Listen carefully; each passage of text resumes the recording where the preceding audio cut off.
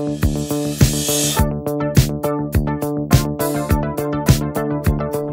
друзья! Сегодня тема нелегкая, немного грустная, но интересная тем, кто э, хочет и задумывается об эмиграции из Украины, России, Белоруссии в другую страну. Э, итак, тем, кому не хотелось бы менять ничего в своей жизни и не выходить из зоны комфорта, то этот ролик не будет интересен. А тем, кому интересна тема иммиграции, тогда оставайтесь с нами. Этот ролик именно об этом. Итак, э, когда мы уезжали, знакомые говорили нам, вы зачем? У вас же все есть, квартира, машина, работа, вас там никто не ждет, вы там будете чужаками. Ну, понимаете, об этом можно очень долго рассказывать, но главные такие причины это то, что нам не хватало самого главного, нам не хватало спокойствия в своей жизни в связи с тем, что происходит у нас в стране. Это первое. Второе, это уверенности в завтрашнем дне э, и порядка, э, работающих законов, вы знаете, друзья, я догадывалась, что эмиграция это тяжело, но до такой степени я даже не представляла. Мы готовились примерно год, учили язык, э, собирали информацию, смотрели блогеров. Кстати, блогеров, когда мы уезжали, это примерно год назад, практически не было, там буквально на пальцах пересчитать, информации было мало. Вот, это сейчас очень много блогеров, рассказывающих и о Польше, и о как переехать, и как карты сделать. А, сейчас с этим попроще.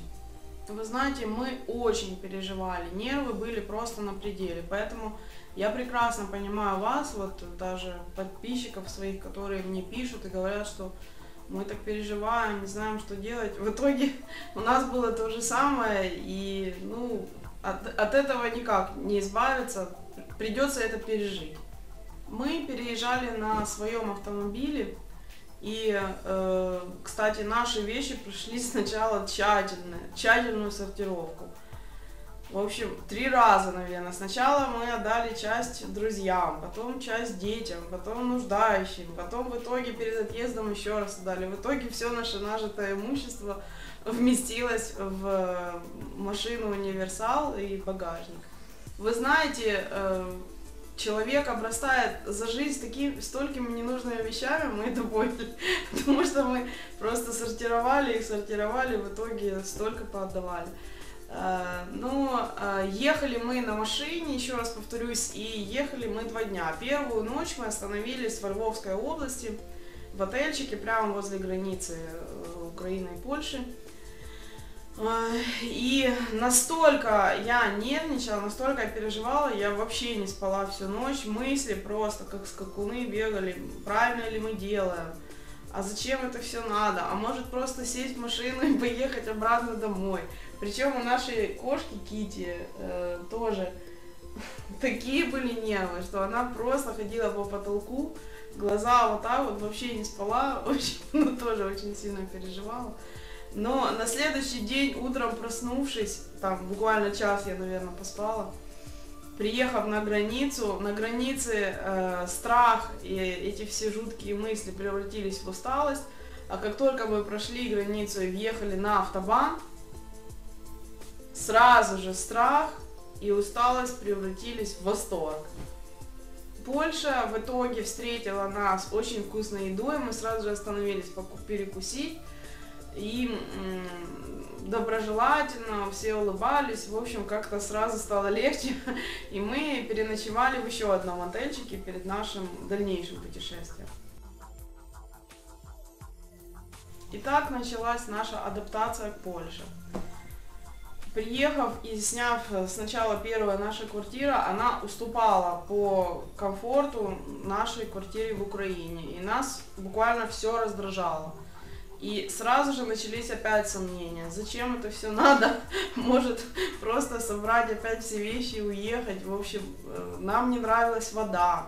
Причем интересно, что Кити тоже не нравилась. Она просто не пила воду и требовала. У нас еще остались э, украинские, украинская вода в машине. И она требовала, чтобы мы наливали только украинскую воду, потому что она вот никакую. Причем мы покупали и, и, и из крана, и из бутылок. Нет, вот и все. И нам. А нам она казалась с какими-то вкусами всевозможными. То есть, ну, не подходило и все. Сейчас этого нет. Сейчас мы уже спокойно пьем воду, все великолепно, она уже нам кажется очень вкусной. Нам э, не хватало родителей просто очень. Так скучали, соседей, друзей. Э, на улицу выходишь, вокруг куча незнакомых людей, которые говорят на непонятном языке. Не, ну я шучу, конечно, чтобы мы знали, что они говорят на польском. Вот, но все это сначала это не передать словами, это невозможно, я даже не могу вот выразить. Вы знаете, друзья, хорошо, что есть интернет, хорошо, что есть Вайбер и Скайп. Мы просто постоянно перезванивались вот так вот, то по скайпу, то по, по Вайберу. Я вообще не представляю, как раньше люди эмигрировали без э, интернета, без связи с родиной. Это очень тяжело. Мы сейчас постоянно в сети, как говорится. Это первая часть нашего рассказа о наших трудностях нашей иммиграции. В дальнейших роликах мы расскажем о всех трудностях, с которыми мы столкнулись при иммиграции. Таких как открытие счета в банке без песеля, интернет, медицина, как мы пошли к врачу первый раз, как устраивались на работу. И еще очень много всевозможных историй. Так что до встречи, друзья. Пока.